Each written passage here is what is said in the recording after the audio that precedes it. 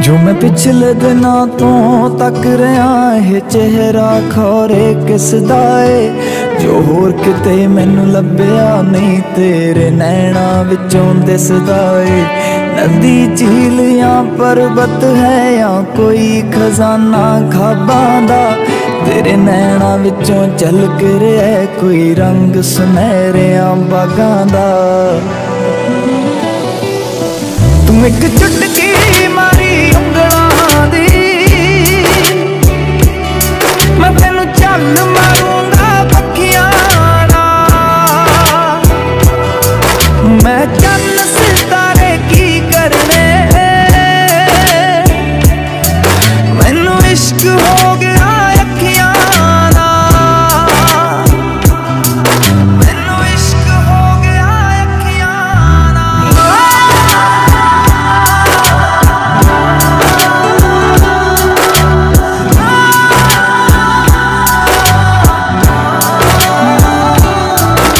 ਇੱਕ ਤਾਰ ਖੜਕਦੀ ਰਹਿੰਦੀ ਐ।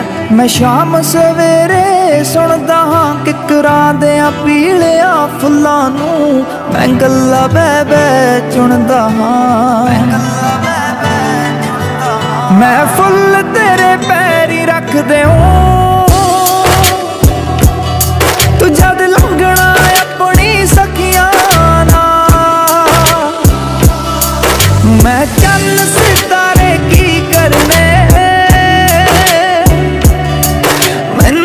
ਇਸ਼ਕ ਹੋ ਗਿਆ ਅੱਖੀਆਂ ਨਾਲ। ਮੈਨੂੰ ਇਸ਼ਕ ਹੋ ਗਿਆ ਅੱਖੀਆਂ ਨਾਲ।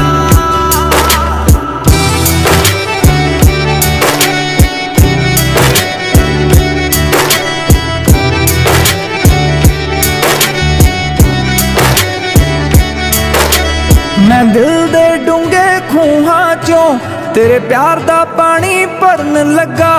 ਮੈਂ ਮਰਦਾ ਮਰਦਾ ਜੀ ਉੱਠਿਆ। ਤੇ ਜਾਣ ਦੀ ਖਾਤਰ ਮਰਨ ਲੱਗਾ। ਤੇ ਜਾਣ ਦੀ ਖਾਤਰ ਮਰਨ ਲੱਗਾ। ਤੇਰੇ ਸੰਗੋ ਰਿਸ਼ਤਾ ਬਣ ਗਿਆ।